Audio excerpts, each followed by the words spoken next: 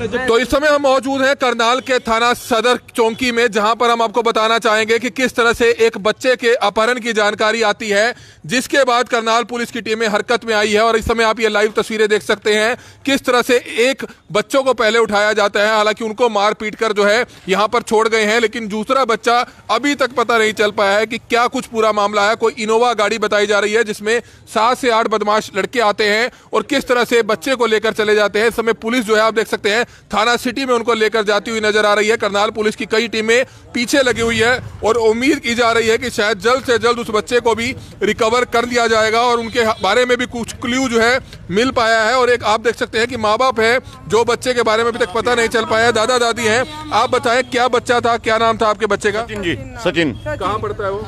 H D boy में जी। S D boys ninth class में। तो क्या पता चला कौन हमें तो अभी पता लगा मोहल्ले वाले ने बताया कहना पुलिस वाले तीन चार लड़के थे वो लेके उठा के उसको।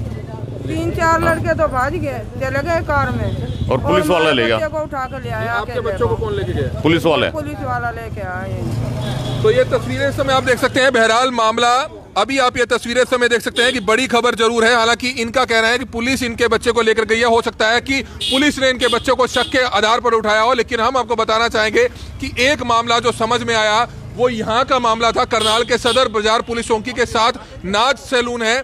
ये जानकारी मिलती है पुलिस को कि नाच सैलून के पास दो लड़के जा रहे थे, जिसमें से एक लड़के को जो है कुछ लड़के आते हैं, गाड़ी में अपहरण कर कर ले जाते हैं। बहरहाल क्या कुछ पूरा मामला था?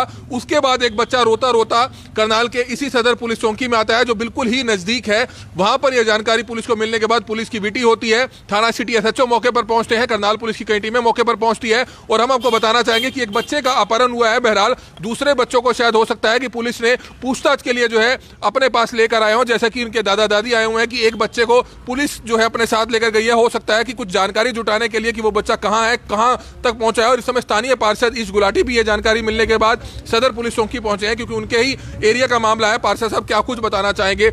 आपको क्या जानकारी मिली जब आप बाज़ार से आए? क्या कुछ पता चला? मैं यहाँ पे आया तो ये इकट्ठे हुए थे, लोग तो पता चला यहाँ पे कि ये नाज सैलून के बाहर में दो स्कूल से स्कूल के बच्चे जा रहे थे, एसडी स्कूल से आए थे। उनमें से एक बच्चे का अपहरण हो गया है। अभी जो हमारे यहाँ चौकी इंचार्ज है, जगदीश पांडे जी और सब कुछ, ये पीछे लगे हुए हैं उसको ढूँढने के लिए।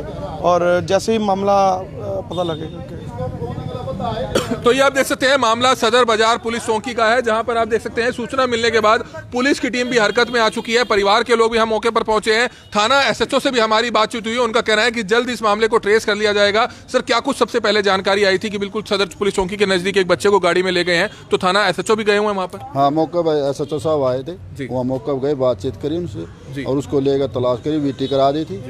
सौ नंबर पर इंचार्ज साहब को सूचित कर दिया था। तो कहाँ का मामला था सर ये?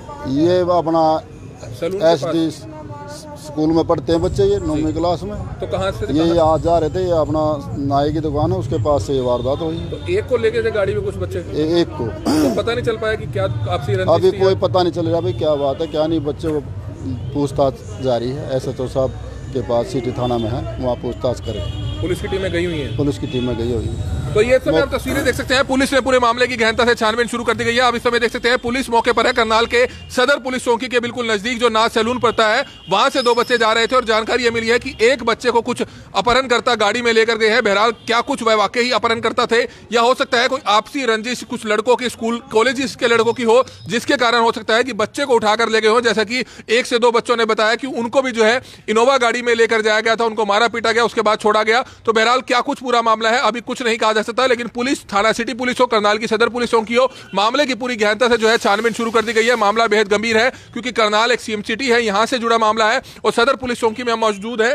सदर पुलिस चौकी के बिल्कुल सामने जो ये मेन रोड जाती है, बिल्कुल नाच सैलून के बाहर ही दो बच्चे जो एस डी बॉयज़ या एस डी मॉडल स्कूल के शायद बताए जा रहे हैं, अभी कंफर्म जानकारी पुलिस भी स्पष्ट तौर पर नहीं दे पा रही है, लेकिन इतना ज़रूर है, बस स्टैंड के पीछे वह स्कूल पड़ता है। दो बच्चे जैसे ही स्कूल से वापसी आ रहे थे आज दोपहर की यह घटना जहाँ से एक बच्चे को गाड़ी में अपहरण करता अपने साथ ले गए हैं और रोता रोता जो दूसरा छात्र था वो सदर पुलिस चौकी में पहुँचा, जिसके बाद पुलिस के भी हरकत में आई और पुलिस ने जो है थाना सिटी एसएचओ को जानकारी दी, क्योंकि सदर पुलिस चौकी का जो थाना है वो थाना सिटी पड़ता है। जिसके बाद थाना city SHO inspector Harjinder Singh भी मौके पर पहुँचे और जो थाना सदर के पुलिस चौकी के इंचार्ज हैं मिस्टर पांडे, वो भी जो है इस समय वहीं पर गए हुए हैं, रेडिंग पार्टी बनाई गई है और उनका कहना है कि शायद जल्द ही उस बच्चे को रिकवर कर लिया जाएगा और उनको जानकारी कुछ मिली है, लेकिन अभी ज़्यादा जानकारी नहीं दे रहे हैं। लेकिन हमारी आप सभी से अपील है कि अपने बच्चों को आज के समय ज़रूर अच्छे संस्कार ज़रूर दें और ये चीज़ ज़रूर नज़र रखें कि उनके बच्चों का सर्कल कैसा है, उनके दोस्त कैसे हैं। अगर आपका बच्चा नौवीं या दसवीं क्लास में है, अगर उनके बच्चों, आपके बच्चों के दोस्त जो है कॉलेज के या उससे भी आगे बड़े बच्चे जो है, उनके दोस्त हैं तो कहीं ना कहीं इस चीज़ का ज़रूर ध्यान रखना चाहिए कि बच्चों की संगत क्या है, क्योंकि हो सकता है कि ये शायद मामला अपहरण का ना हो, किडनैपिंग का ना हो, कुछ आपसी रंजिश का, कॉलेज या स्कूल के बच्चों की लड़ाई का हो सकता है, जिस कारण एक बच्चे को उठाकर ले जाया गया हो, लेकिन कहीं ना कहीं पूरी मार्केट ने देखा कि किस तरह से एक बच्चे को गाड़ी में जो है उठाकर मारते पीटते जो है उस बच्चे को लेकर गए हैं, जिसके बाद स्थानीय पार्षद भी सूचना मिलने के बाद मौके पर पहुँचे, पुलिस की टीमें भी मौके पर पहुँची है, और इस समय आप देख सकते हैं, सदर पुलिस चौकी में है, जहाँ पर पुलिस के अधिकारी मौके पर है, जैसे कि उन्होंने बताया कि थाना सिटी एसएचओ को भी जो है जानकारी दे दी गई थी, जिसके बाद थाना सिटी एसएचओ मौके पर पहुँचे और खुद जो है रेडिंग पार्टी बनाकर यहाँ से रवाना हो गए हैं। हमारी अपील आप सभी से है, ज़्यादा से ज़्यादा लोग इस खबर को शेयर ज़रूर करें। Kamal Midda, Karnal waking news, Karnal.